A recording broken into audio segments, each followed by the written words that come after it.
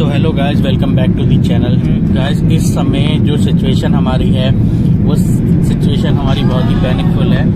आप देख रहे हो जैसे मैं विंडो सीट पे बैठा हूँ और ये नाइट की फ़्लाइट है बाहर कुछ भी नहीं दिखाई दे रहा। लेकिन पायलट ने इमरजेंसी लाइट साइड की ऑन कर रखी है। और सिचुएशन क्या हुई है?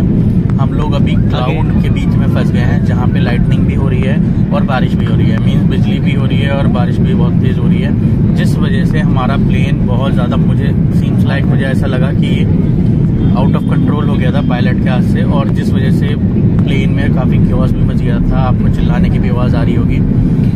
But pilot hats off to him बहुत ही अच्छी सिचुएशन से उसने इसको डील किया है। और फाइनली वो इस सिचुएशन से बाहर आ गए। बहुत ज़्यादा पैनिक हो गया था। अभी आप एंड में देखिएगा और क्या सिचुएशन बर्स्ट हो सकती थी इसमें। ये देखो ये इतनी तेज जो विंड है ना ये विंड और पानी दोनों चीज़ें हैं जो लाइट के थ्रू आपको दिखाई दे रहा है और वाइब्रेशन प्लेन में इतना ज़्यादा होने लगा था क्योंकि मेरी जो सीट